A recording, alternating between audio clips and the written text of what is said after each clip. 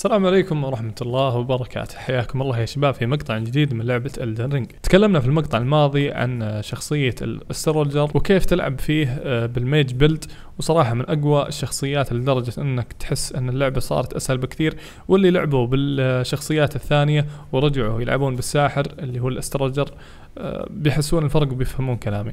واليوم إن شاء الله راح نتكلم عن الشخصية هذه اللي مفقوع عينها آه، ال Prisoner. آه، طبعا مثل ما تشوفون أحلى شيء في class ال Prisoner اللي هو أفضل من ال Astrologer في هذه الناحية إنك تكون مسافات قريبة ولكن برضه باستخدام ال spells اللي هو يبدأ بال item ين الكويسين أو أفضل شغلتين يبدأ فيها. عندك ال spell هذا اللي في البداية ممكن تستمر فيه فترة طويلة من غير تغيره. وعندك السيف اللي هو اللي متطلب لل dex آه، عنده جدا ممتاز. فما يحتاج ابدا أنك تغير السيف لفترة طويلة وأنا بذكر إن شاء الله بعد شوي في المقطع آه، سيف بديل إذا ودك تغيره وأنصحك فيه. طبعا أنصحكم مثل المقطع الماضي إنكم تستخدمون ال item اللي هو ال Golden Seed بحيث إنك تقدر تكثر من عدد ال flask اللي تشربها والقوارير هذه اللي تهيلك سواء كان لل heal تستخدمها أو تستخدمها للسحر وراح نتكلم بعد عن هذا الشيء بعد شوي. أول شيء أنصحكم تسوونه إنكم تروحون إلى ال Waypoint Ruins وأعتذر إني ما ظهرت هذا اللقطة في المقطع الماضي آه، كثير جتني أسئلة يقولون لي وين المكان هذا حق الساحرة آه، اللي في بداية اللعبة ما راح يعرفه. فضروري إنك تجي هنا عشان آه، تاخذ بعض ال spells وعندكم فيه ال Academy Scroll أو ال Royal House Scroll هذه موجودة بحط لكم مكانها في ال map. إذا رحت هناك وأخذت ال item آه، كان اسمه Royal بحط لكم صورته. إذا أخذته راح تقدر تطور عدد التعويذات. فبعد ما تجيب هذاك ال item وتسوي unlock إلى عدد أكبر من ال spells اللي ضروري جدا إنك في بداية اللعبة تسويه. ال spells اللي تريد تختارهم من عندها. أول شيء ال Glintstone Pebble آه تكلمت عليه برضه في المقطع الماضي آه ثابت وال damage فيه قوي آه ويسوي track لل enemy.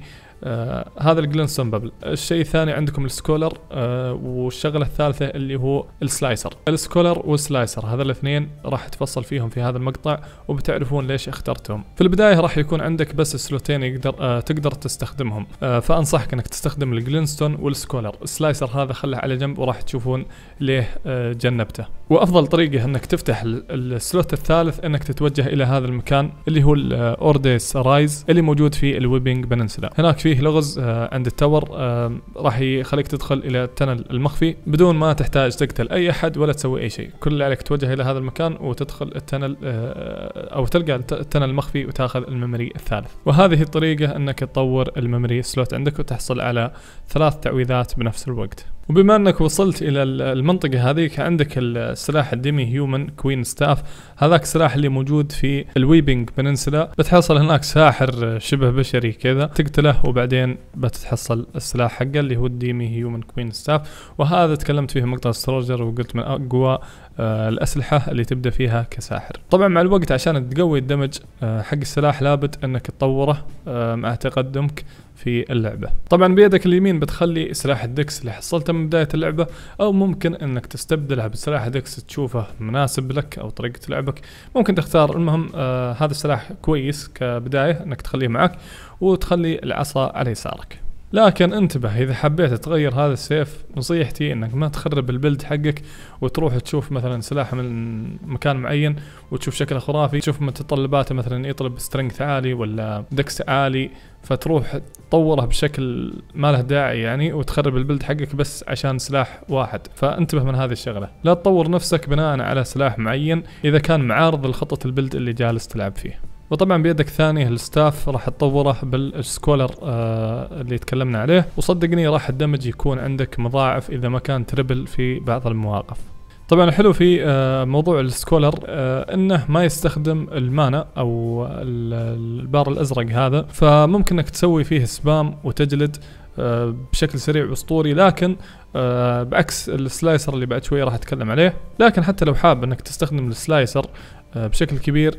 لا تنسى إنه ممكن تقلب ال build يعني آه عفوا ال flask حقك إلى آه تركيز السحر بشكل أكبر. ممكن تخلي ال flask أو ال flask هذا كامل اللي يطور السحر عندك بحيث إنك تقدر تستخدم آه هذا ال Slicer بشكل أكبر. طبعا ال Slicer أنصحك إنك تستخدمه مع ال bosses راح يجلد لك ال bosses. آه مجرد ما إنك تقرأ خطوات آه أو تحركات البوسز آه بتعرف متى يعطونك المجال اللي فيه تضرب الضربة القاضية هذيك؟ في هذيك المرحلة أنت راح تستخدم ال Slicer هذا أنصحك فيه وبشدة. فمثل ما قلت لك إذا حاب إنك تستخدمه كثير سواء مع ال bosses أو غيره أنصحك دائما إنك تزيد ال flask حقك السحر إلى ال max مثلا. لكن كذا بيكون عندك نقطة ضعف اللي هو ال heal. ال heal بيكون عندك ما في flask تهيل منه آه وبتتلقى ضربات في هذا ال build أكيد. يعني مش نفس ال Astrologer تحاول تكون قدر الإمكان بعيد. هذا عشان تضرب آه بالسيف لازم إنك تكون قريب. فضروري إنك ما يعني توزن بين الشغلتين. إنك تخلي ال Slicer مثلا لل bosses أو أو في حالات معينة وتستخدم ال Scholar هذا في آه، ال fight العادي لأنه ما يستخدم ال focus point. بنفس الوقت تقدر تهيل وتضبط أمورك. ضروري إنك آه، تنتبه إنها تستخدم من قوة التحمل اللي عندك أو ال stamina. أنا صراحة أشوف أهم شغلة يوم تقاتل أي boss في اللعبة إنك تركز أو تلعب صح بموضوع آه، ال stamina بحيث إنك تعرف متى تخلي لك شوي تدافع فيه عشان تقدر تنفذ ال rolling أو ال dash وتشرد من الضربات حقه وتوزن بينها وبين آه، هجومك عليه باستخدامك التعويذات اللي تتطلب برضو قوة التحمل. فما تروح مثلا تجلده وأنت تعرف إنه بعد شوي بينفذ حركة لازم إنك تسوي منها dodge وكذا. لكن ما أنصحك في هذا ال build إنك تطور في ال endurance لأنه ما راح يطور لك ال endurance بشكل كبير مقابل النقاط اللي راح تصرفها فيه. ولكن أنصحك إنك تحاول توزن فيها قدر الإمكان وتتجنب الضربات آه، أو استخدام الضربات في, في الأوقات الغلط فملخص الموضوع إنك ما تسوي dodge أو roll بعيد من ال enemy أو تسوي block في أوقات غلط أو في أوقات ما تحتاجها. حاول إنك تفهم حركات ال boss وبعدين آه تستخدم ال Slicer يوم آه تحتاجه في الوقت المثالي يوم يكون ال boss في ال idle time. مثل ما تشوفون ال Slicer طبعا ينقص من focus point بعكس ال Scholar اللي قلت لكم آه فرفروا فيه في البداية لأنه قوي وما يتطلب ال focus point. شغلة ضرورية إنك تنتبه لها في موضوع ال Slicer أو ال Pebble أو غيرهم أه تلاحظ دائما ال focus point كم ياخذ منك في كل مرة تستخدمه. لو تلاحظون مثلا عندكم ال Pebble تقريبا ياخذ سبعة مقارنة بال Slicer ال Slicer ياخذ منك أه تقريبا أربعة ففي فرق ثلاثة بينهم. طيب ال Pebble بتقول لي متى بستخدمه؟ ال Pebble أنصحك دائما إذا دخلت على group مثلا أه أربعة أو ثلاثة بعد ما تسلم عليهم تحاول أن تنقص حتى لو واحد من الأربعة هذا أو ثلاثة من مسافة بعيدة وبعدين ترجع تحول على ال Scholar وال Slicer مثل ما قلت لأنهم يستهلكون آه، ال focus point أقل ولكنك تقدر تنفذ أكثر من ضربة آه، بنفس ال damage تقريبا بدون ما تشرب ال flask حق السحر. وبرضه في شغلة حلوة آه، ذكرتها في المقطع الماضي حق ال Astrologer إن في Elden Ring إذا هجمت على مجموعة راح يسوي restoring إلى ال focus point حقك من غير لا تروح تسوي أو تشرب flask أو تروح تسوي rest عند ال grace أو ال bonfire ف ال Glintstone Pebble يا اخوان أه تحاول تنقص من الاعداء أه أو إذا كان مثلا أه جاك enemy يطير يفرفر ما تقدر توصل له أو يعني أه ودك تستخدم أو ضروري إنك تستخدم ال long range هذا ال Glintstone أنصح فيه وبقوة. وإذا شفت نفسك يا عزيزي تستخدم ال Glintstone Pebble أكثر من ال Scholar وأكثر من ال Slicer أنصحك إنك تشوف المقطع حق ال Astrologer وتلعب بال mage build اللي شرحته في هذاك المقطع. لأن صدقني آه ال build هذاك آه build ال mage هو يناسب طريقة لعبك أكثر وهذا دليل عليه فأنصحك تحول على ال mage لأنه سهل تستخدم فيه ال range attack. أما بالنسبة لهذا ال build مثل ما تشوفون تستخدم فيه ال Scholar ولازم تكون مسافات قريبة وتركيزك بيكون آه، نوعا ما لازم شوية flask من ال health. أما هذاك يعني في اختلاف بتلاحظونه يوم تشوفون مقطع ال mage. ونجي لأهم شغلة في ال build اللي هو ال stats. أول شيء أنت راح تبدأ ب vigor بما أنك تلعب بشخصية آه ال melee فيها يعني قريب شخصية آه قتال آه مسافات قريبة ضروري أول شيء إنك تركز على ال vigor. لأن مفقوع العين هذا راح يبدأ معك آه ب vigor أو عداد الصحه أو عداد ال HP عندك قليل فضروري إنك توصله إلى 15 أو 20 من بداية اللعبة. بعدين ال intelligence توصلها إلى 20 برضه. وبعدها ممكن تحول إلى ال dex وتطوره آه، إلى 17 بحيث إنك تزود ال damage حق آه، السلاح اللي معك السيف سواء كان غيرته ولا جبت سيف ثاني متطلبات السيف كانت ال dex فيوم تطور آه، ال dex راح تطور ال damage في السلاح هذا أو السيف هذا. واللي حاب يبدل السلاح عنده سلاح آه، السيف هذا اللي اسمه rapier. آه، المميز في هذا السيف أن عنده ال critical 130 ال 130 هذه وش تعني؟ أو ال critical هذا وش يعني؟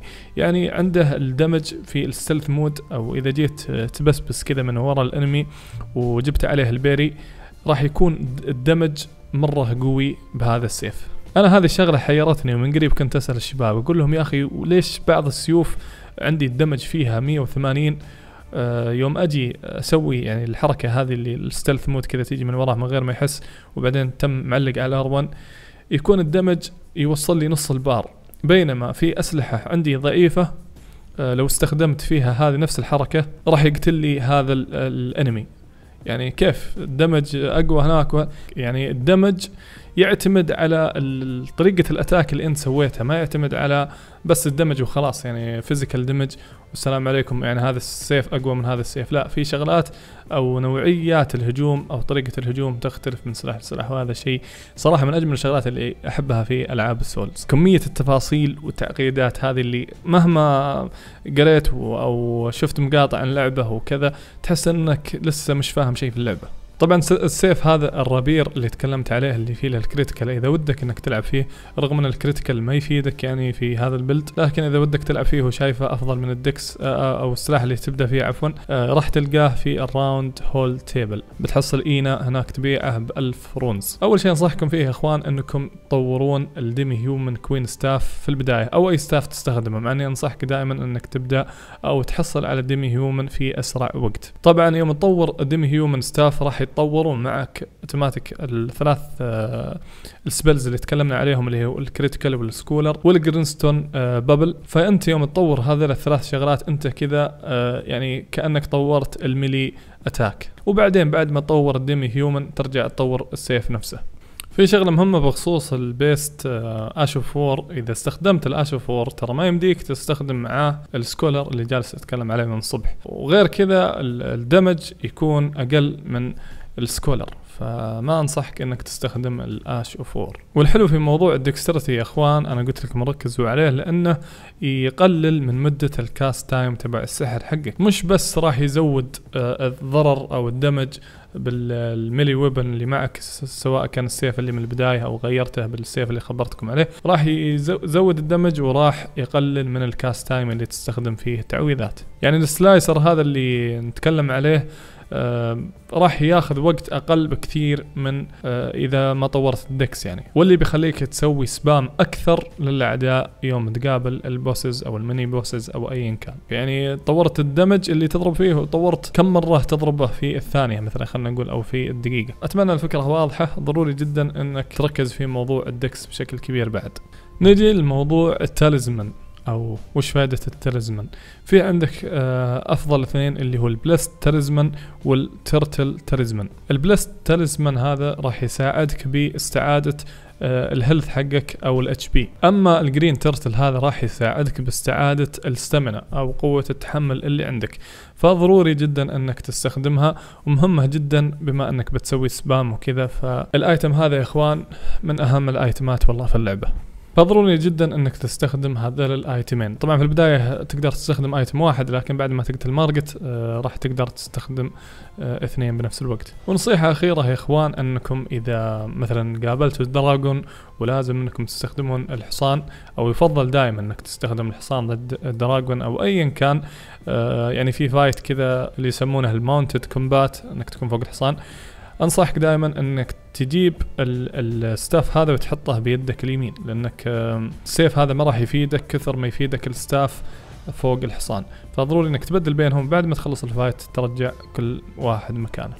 وبس يا شباب هذا كان مقطع اليوم. أتمنى أنكم طلعتوا ولو بفائده واحدة لا تنسون تقييم الفيديو ال like وال comment والاشتراك إذا ما كنت مشترك وتفعيل جرس التنبيهات ونشر المقطع لأخوياك. نشوفكم إن شاء الله على خير في مقاطع جاية.